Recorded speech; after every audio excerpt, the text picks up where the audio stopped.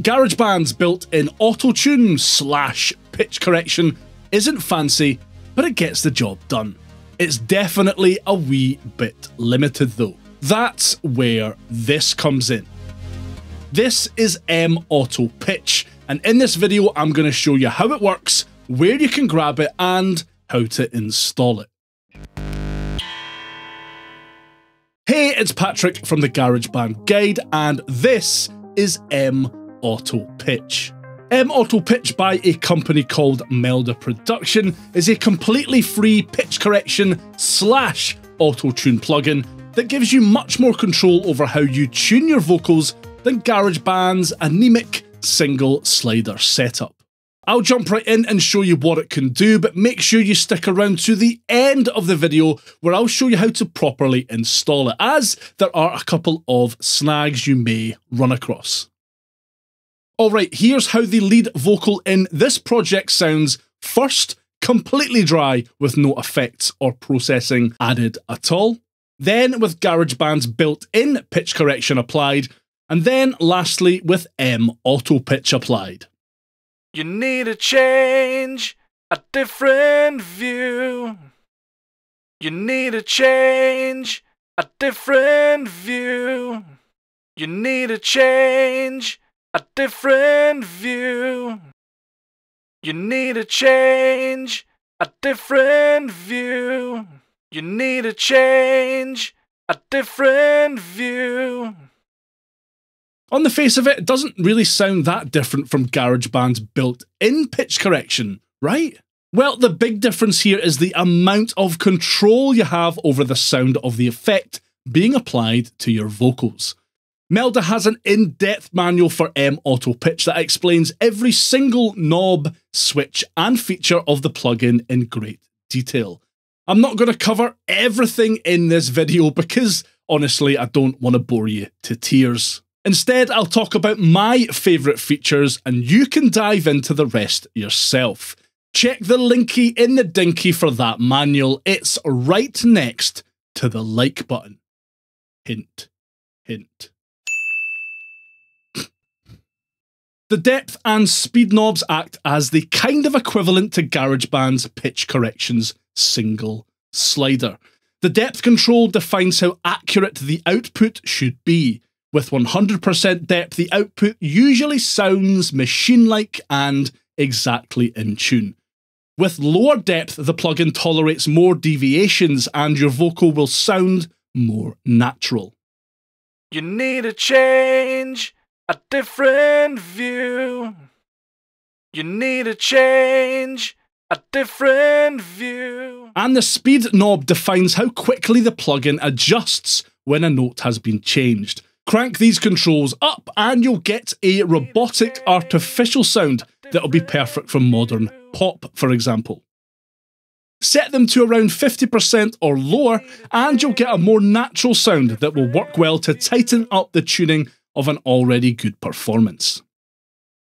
With GarageBand's built-in pitch correction, you can click on the Limit to Key checkbox and your vocal will be tuned to the project's key. That's up in the LCD at the top, by the way. M Auto Pitch allows you to set the key from within the plugin itself, so you don't necessarily need to stick to the overall project key. Veering too far away from the key of your song can produce some weird results though. Need a change, a different view. You need a change, a different view. This extra freedom to fine tune the notes that your vocal will be corrected to, though, is really useful. Need a change, a different view. The formant shift control lets you manually alter the formant information in semitones which generally results in no pitch shifting, but can create a number of interesting effects. You need a change. Like making a male voice sound more feminine. You need a change, a different view. Or reproducing that popular low or high formant sound that you hear artists like blackbear or Tame Impala use. You need a change, a different view. You need a change, a different view. You can even automate the formant changes using GarageBand's automation, which is just excellent.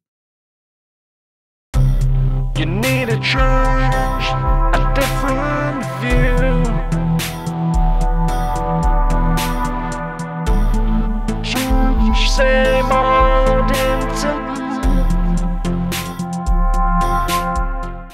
Auto Pitch also comes with some genuinely really useful presets. If you believe in life after love, You can channel the vocal sound of one of Cher's biggest hits. need a change, a different view. You need a change, a different view. You can switch from a male vocal to a female, different view. and vice versa.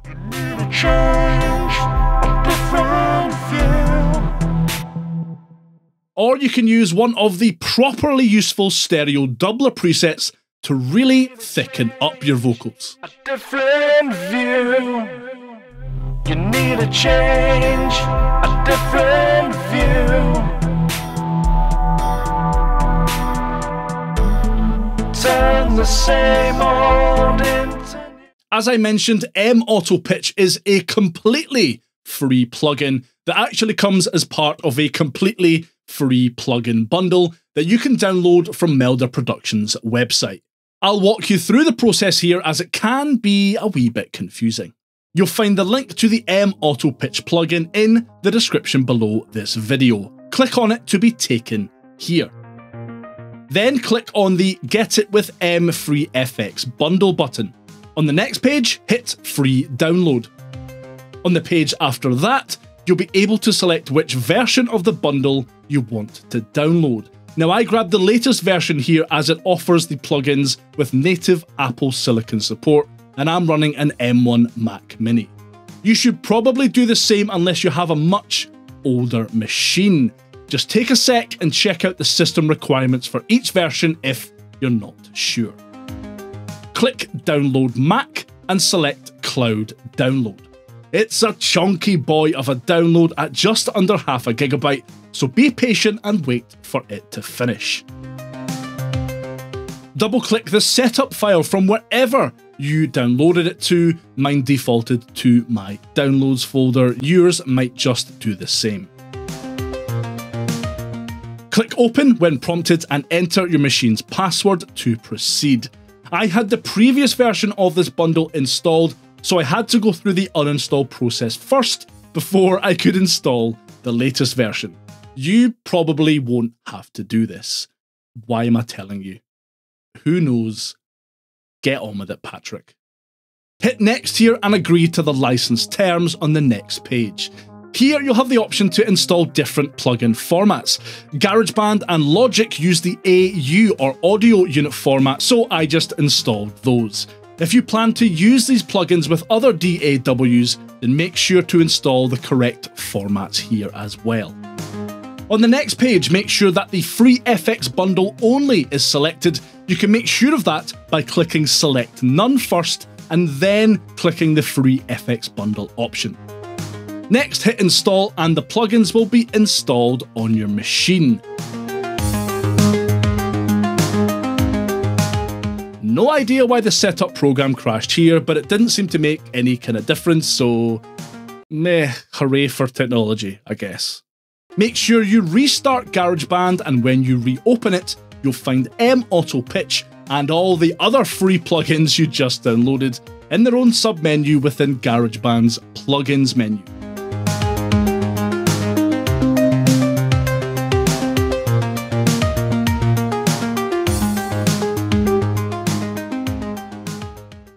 Auto Pitch really is a big step up over GarageBand's built in pitch correction slider, and it gives you a lot of the same pro features that you'd find in pro pitch correction plugins like Antares' Autotune or Formant plugins like Soundtoys' Little AlterBoy.